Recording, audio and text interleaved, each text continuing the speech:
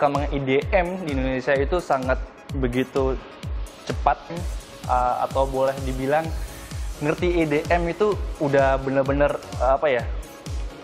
Oke, kalau zaman dulu itu kita browsing lagu agak susah ya, ya kan kita harus ke CD store gitu hmm. buat nyari lagu yang terbaru apa. Kalau sekarang nggak malah, sekarang orang udah pinter banget, dia bisa browsing di internet, cari top 100 gitu, yeah. jadi orang bisa um, nyari lagu itu segampang itu gitu. Kita kan kalau nge dulu pakai turntable. Yeah. Turntable itu uh, kita harus pakai piringan hitam. Kita biasanya sebutnya vinyl gitu. Nah kalau zaman dulu itu kita itu beli vinyl itu di Indonesia tuh jarang tokonya. Kalaupun ada limited sekali. Jadi sometimes kita harus kayak bener-bener ke luar negeri kalau nggak kita nitip teman kita yang sekolah di luar kayak eh, eh men lu ada lagunya DJ ini nggak? Tolong dong bisa bawain nggak gitu. Dan sementara kalau di luar negeri serunya adalah DJ itu tuh nggak mengobrol musiknya gitu. Jadi musiknya dia cuma cetak kayak seribu untuk satu dunia nih seribu piringan hitam gitu. jadi kita kalau untuk dapetin itu kayaknya wah ini harta karun banget gitu. Nah sekarang tuh kayaknya lo bisa dapetin di mana free download udah jadi kayak nggak ada artinya lagu gitu. Kalau bagi gue nah tapi di, di situ justru menantang ya lu sekarang ngelihat balik lagi perkembangan IDM tadi dari segi musik seperti itu. Nah kalau dari gue, gue ngelihatnya dari kacamata industri klub.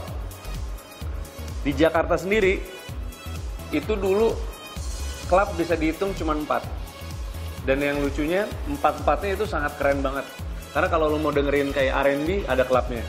Lu mau dengerin trance ada klubnya. Lu mau dengerin house music ada klubnya. Lu mau dengerin drum and bass mereka punya event dan komunitas dan juga ada klub yang mau menampung seperti itu. Sekarang industrinya sangat besar sekali dan akhirnya klub bermunculan banyak banget. Jeleknya adalah semua klub hampir memainkan 90% musik yang sama. Lu datang ke klub lu main beda dikit, lu diprotes. Yang yang komersil dong, Bro. Yang top 40 dong, yang IDM. Maksud gue sekarang gini, apa bedanya lu sama operator radio kalau ada underground untuk dengerin musik tuh masih kenceng banget itu.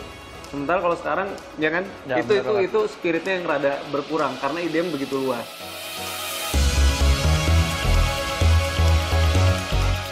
Sebelumnya nggak pernah perform dalam format IDM ini pertama kali. Pertama kalinya aku perform di format kayak gini. Uh, amazed banget sih buat aku bisa perform bareng DJ Winky dan Evan. Apalagi aku ngefans banget sama DJ Winky dari dulu gitu kan. Ya semoga bisa total aja bareng mereka.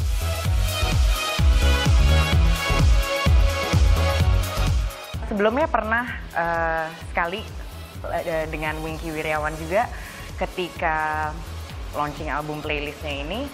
Kemudian yang terakhir baru kemarin di Jakarta Warehouse Project. Um, kalau untuk saya pribadi ini kayak pengalaman pertama baru-baru banget uh, untuk bernyanyi lagu aliran electronic dance music ini. Ya saya bangga lah bisa bekerja sama dengan produser terbaik tahun lalu dan dengan salah satu DJ ternama di Indonesia saat ini.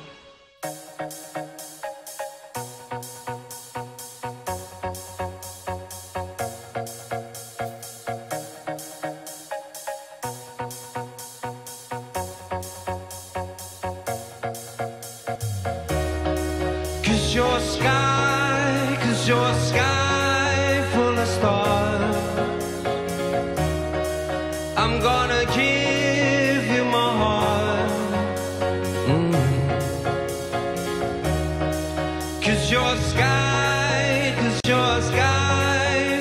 star.